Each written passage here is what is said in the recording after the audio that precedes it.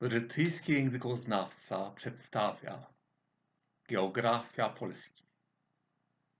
Polska jest krajem daleko rozciągniętym od wschodu na zachód.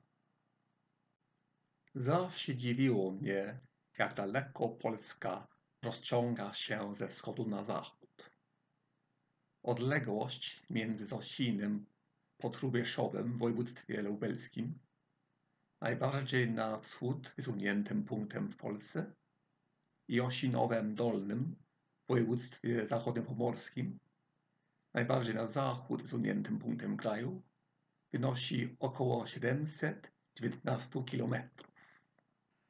Odległość między Zosinem a Osinowem Dolnym jest taka sama jak od Zosina do wsi Chuliwka pod miastem Krzywy Róg na Ukrainie oraz od Osinowa Dolnego do punktu na Morzu Północnym między zachodnim wybrzeżem Niderlandów a wschodnim wybrzeżem Anglii.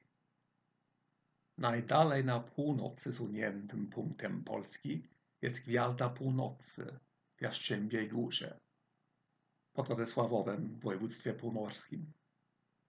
Podczas gdy najdalej na południe wysuniętym punktem kraju góra Opołonek w województwie podkarpackim. Wbrew pozorom, odległość między tymi punktami wynosi około 718 km, czyli prawie tyle, co między Zosinem i Osinowem Dolnym. W związku z tym Jastrzębia Góra leży mniej więcej na tej samej odległości od polskiej góry Opołonek co norweska wieś Grylefinskog, która jest położona 107 km na północny wschód od Oslo. A Opołonek leży mniej więcej na tej samej odległości od Jastrzębiej Góry, co wieś Radewci pod miastem Gaberowo, które jest centrum Bułgarii. Ale to nie wszystko. Odległość między Opołonkiem i Świnoujściem, najdalej na północy zachód wysuniętym miastem Polski, wynosi aż 806 km.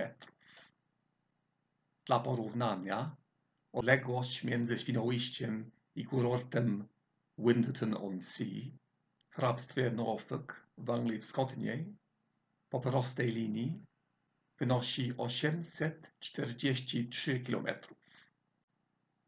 Nie mogę sobie wyobrazić, ile trzeba nalać benzyny, żeby jechać samochodem z Podkarpacia na zachodnie Pomorze. Odległość między Osinowem Dolnym i Winton Sea wynosi zaledwie 836 km.